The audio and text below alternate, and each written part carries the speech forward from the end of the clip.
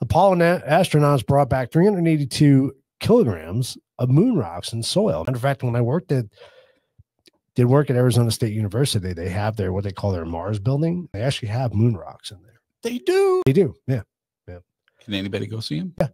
That's cool. Yeah. I think you can go and see them. So these samples have been studied by scientists all over the world for decades, not just NASA, but geologists in multiple countries.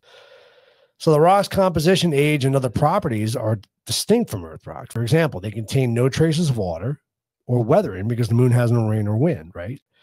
So some have tiny impact craters from micrometeoroids. I like that, micrometeoroids, which don't happen on Earth. Even the Soviet lunar robotic missions returned a few hundred grams of moon material, and those matched the Apollo samples.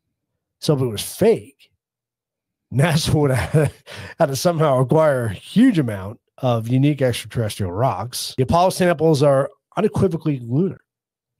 Um,